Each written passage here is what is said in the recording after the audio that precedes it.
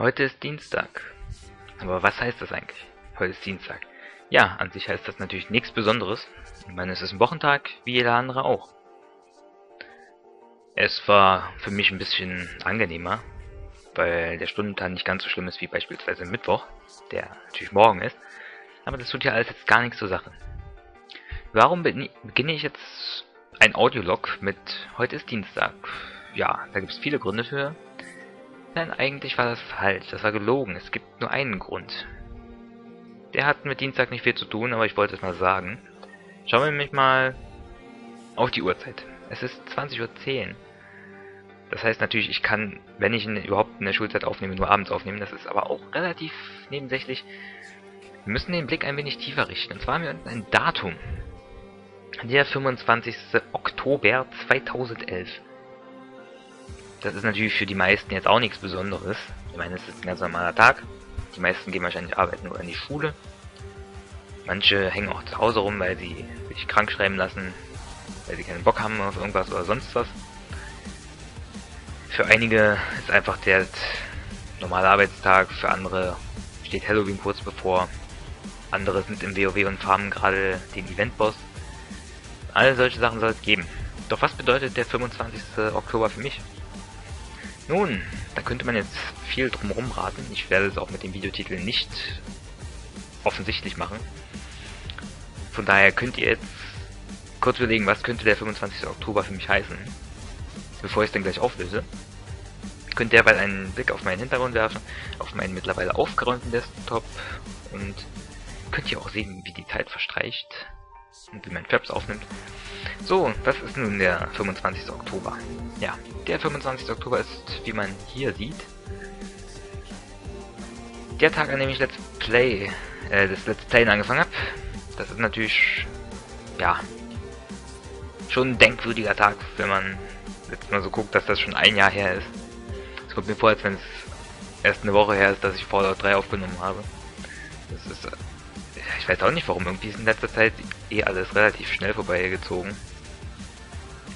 Ich hatte natürlich Part 1 schon früher hochgeladen, aber in Part 1 habe ich nicht wirklich was gesagt, da habe ich nur das Intro gezeigt. Von daher ist der 25.10. für mich der Tag, wo ich angefangen habe damit. Ich habe in einem Jahr doch mehr erreicht, als ich eigentlich gedacht hätte.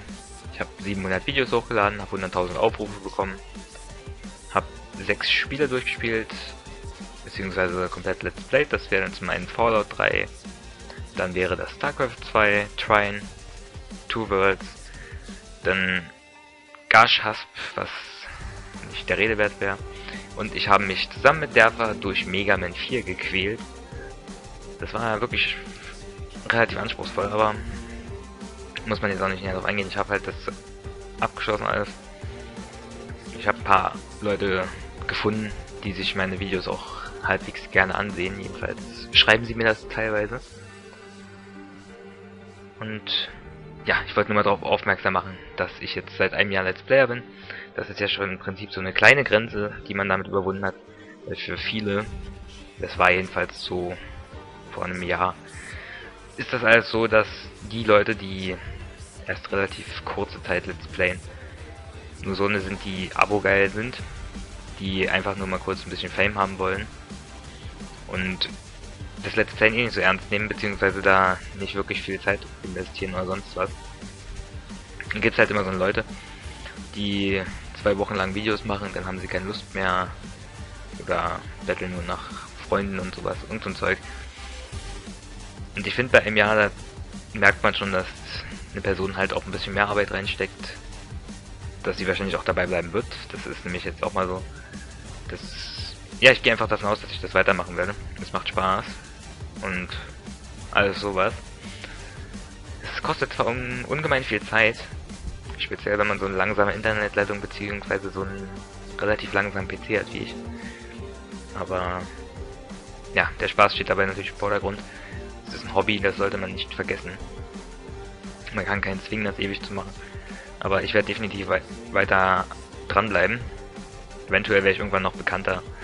Das weiß man aber nicht genau, denke ich mal. Das wird man sehen, wie sich da das Ganze so zeigt.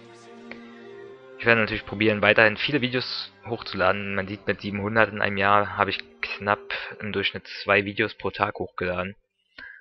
Das ist nicht zu viel, nicht zu wenig. Also ich denke, das ist schon eine akzeptable Nummer.